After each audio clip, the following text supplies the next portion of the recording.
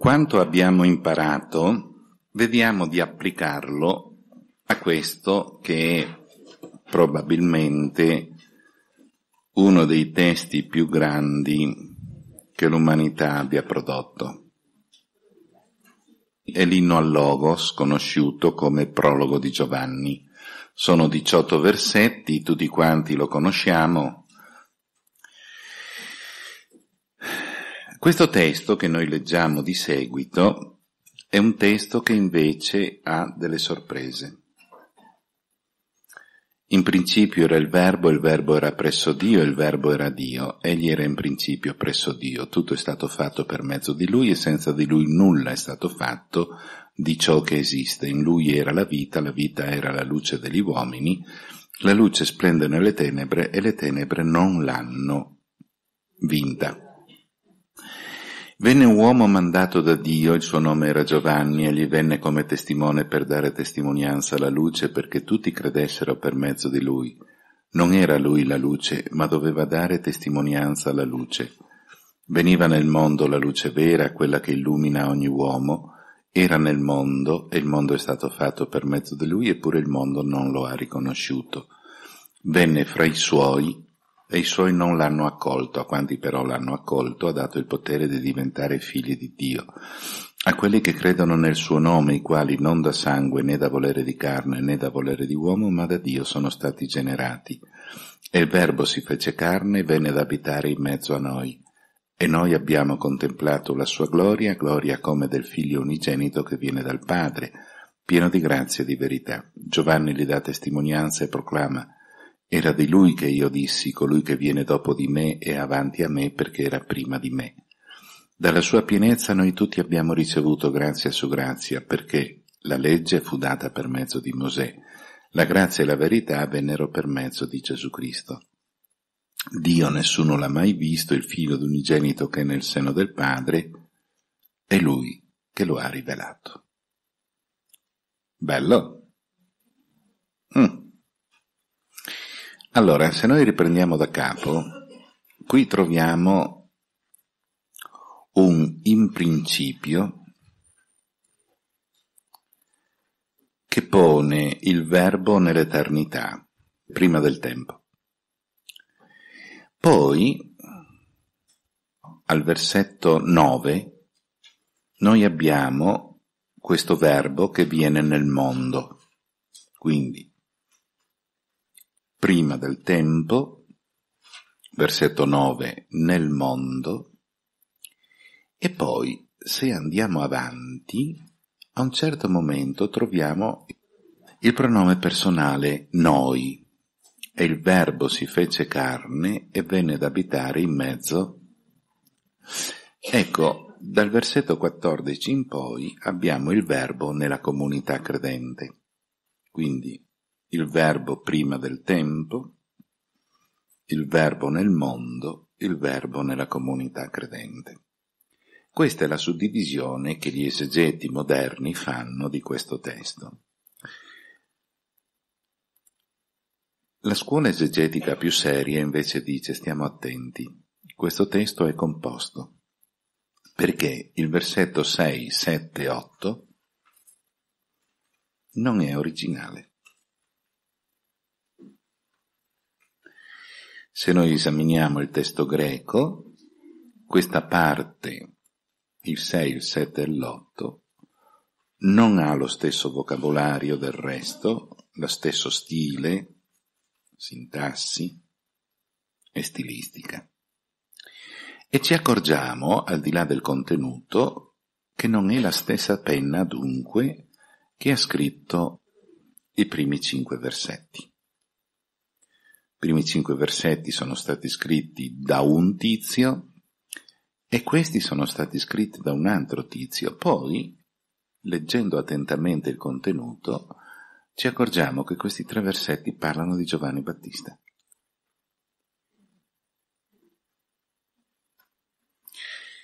La cosa interessante è che lo stesso stile, vocabolario e contenuto di questi tre versetti lo troviamo al, al versetto 15.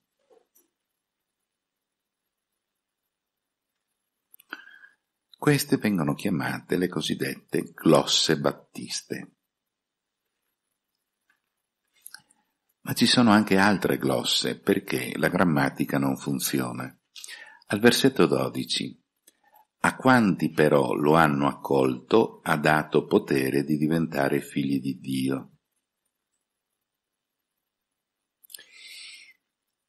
A quelli notate che ha un dativo che si riallaccia a questo dativo. Ci siete? Sotto il profilo puramente sintattico è troppo lontano. Si vede che è una glossa di tipo esplicativo. Perché? Cosa vuol dire diventare figli di Dio? Il presupposto è questo, credere nel suo nome, i quali non da sangue né da volere di carne né da volere di uomo, ma da Dio sono stati generati, per questo si sono chiamati figli di Dio. Questo dunque è una glossa esplicativa che spiega questo concetto. Non è chiaro? Non è chiaro. Allora, partiamo dal vestito. Quando noi vediamo una persona, vediamo il vestito e diciamo è grasso, è magro. È la forma. Ora, se noi esaminiamo la forma del versetto 12, ci accorgiamo che c'è questo casus pendens. Cioè dove lo appendiamo noi, questo pronome? lo possiamo appendere a questo dativo. È una ripresa di questo dativo, ma sotto il profilo sintattico è un dativo troppo lontano, perché questo dimostrativo dovrebbe avere in questa zona l'aggancio. mentre invece questo pronome ha l'aggancio qui e ha l'aggancio qua. Allora, sotto il profilo della prosodia, noi abbiamo un pronome che è funzionale a questo pronome. Ci siamo? Bene. Questo brano così strano, sotto il profilo grammaticale, sin, grammaticale corretto ma sintattico no, cosa spiega? Spiega questo tipo di affermazione, non spiega tutto il resto. E allora viene chiamata glossa esplicativa. Di queste glosse esplicative ne troviamo ancora. E questa volta al versetto 17 per spiegare questa strana espressione del versetto 16. Dalla sua pienezza noi tutti abbiamo ricevuto grazia su grazia. E che accidenti è questa grazia su grazia? Allora, grazia vuol dire cosa data gratuitamente. Allora, la prima cosa data gratuitamente è stata la legge per mezzo di Mosè. Mentre invece questa seconda grazia è la verità. La verità perché questa espressione è un'endiadi. Non sono due cose, sono due parole per indicare una cosa sola. La grazia della verità venne per mezzo di Gesù Cristo, questo è il concetto. A livello poetico si dice la grazia è la verità, ma essendo un'endiadi, ciò che importa è questa qui. Quindi la legge per mezzo di Mosè, la verità per mezzo di Gesù Cristo. Ci siete? E un versetto esplicativo che mi chiarisce che cos'è questa roba qua. Allora, se io riparto da capo, l'inno al Logos non è più quello che abbiamo letto prima. L'originario, quello che noi troviamo qui, e quindi probabilmente, ma bisognerebbe fare ancora un altro passaggio, ma sono già le 11 e 7 minuti, non riusciremo a farlo, pazienza, possiamo arrivare fino a qua. Noi siamo partiti da qui, abbiamo studiato il testo e abbiamo detto ci sono due tipi di aggiunte. Le aggiunte di tipo battista, poi vedremo quando sono state fatte, e le aggiunte di tipo esplicativo, e vedremo quando sono state fatte. Il testo originario dunque sarebbe in principio era il verbo, il verbo era presso Dio, il verbo era Dio. Egli era in principio presso Dio, tutto è stato fatto per mezzo di Lui e senza di Lui nulla è stato fatto di ciò che esiste. In Lui era la vita, la vita era la luce degli uomini, la luce splende nelle tenebre, le tenebre non l'hanno vinta. Veniva nel mondo la luce vera. quella che illumina ogni uomo. Era nel mondo, il mondo è stato fatto per mezzo di lui, eppure il mondo non lo ha riconosciuto. Venne fra i suoi, i suoi non l'hanno accolto. A quanti però lo hanno accolto ha dato il potere di diventare figli di Dio. E il Verbo si fece carne e venne ad abitare in mezzo a noi. E noi abbiamo contemplato la sua gloria, gloria come del figlio unigenito che viene dal Padre, pieno di grazia e di verità. Notate? Dalla sua pienezza noi tutti abbiamo ricevuto grazia su grazia. Dio nessuno l'ha mai visto, il figlio unigenito che è Dio e che è nel seno del Padre, lui che lo ha rivelato, appunto. Questo è il testo originale.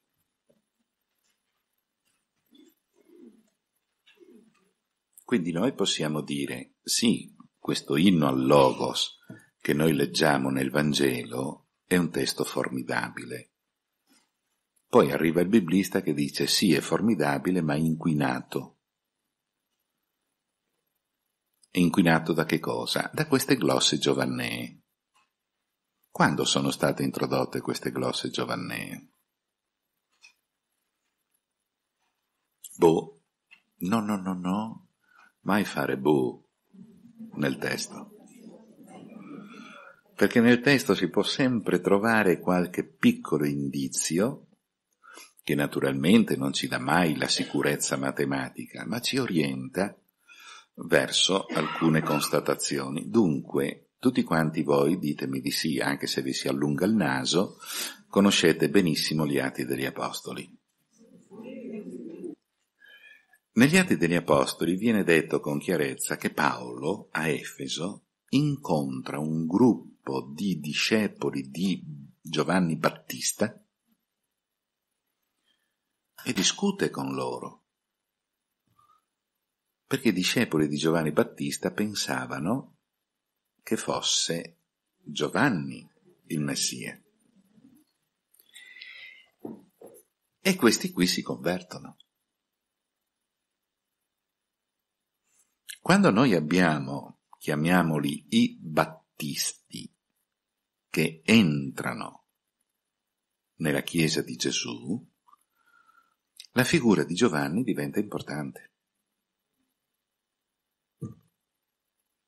Allora voi avete Luca che vi narra i Vangeli dell'infanzia su un dittico, annunciazione della nascita di Giovanni, annunciazione della nascita di Gesù.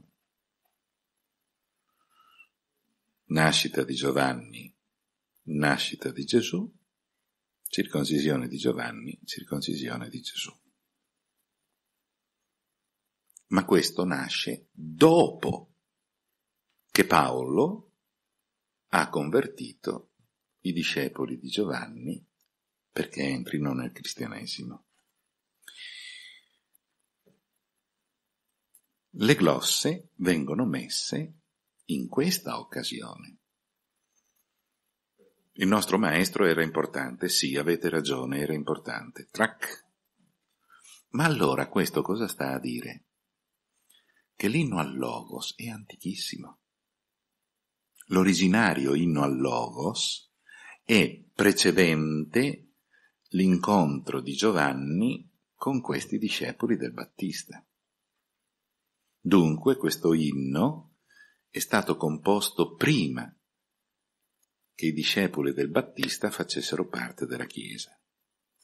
Quando questi discepoli hanno cominciato a far parte della Chiesa, in omaggio al Battista vengono aggiunti queste glosse, in modo che tra il Verbo fatto carne e il Battista ci sia un legame ben preciso, ma subordinato.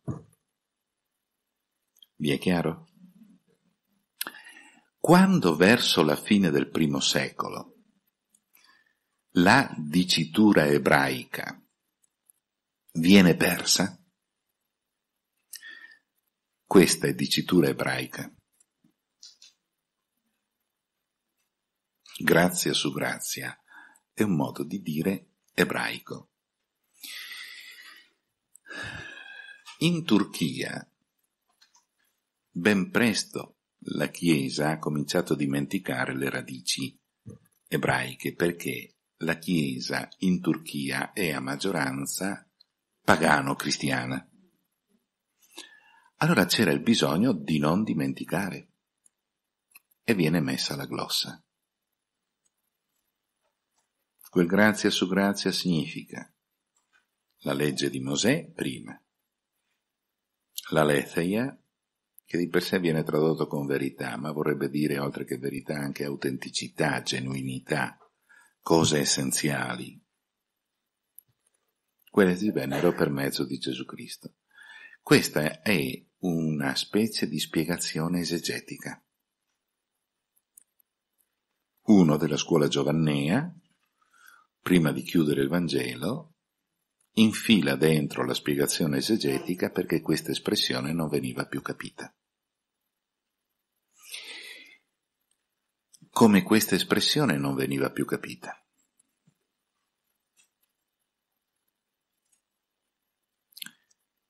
Perché? Perché siamo alla fine del primo secolo dove la dimensione sacramentale prevale sulla dimensione biblica.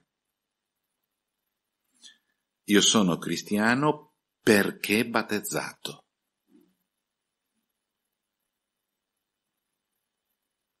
Alle origini del cristianesimo, io sono cristiano perché ho accettato di credere in Gesù Cristo facendo un cammino di identificazione con Lui. Quindi, io accetto di essere discepolo di Gesù e di fare un cammino di identificazione con Lui, quindi mi battezzo. Alla fine del primo secolo mi battezzo, quindi scelgo di essere suo discepolo.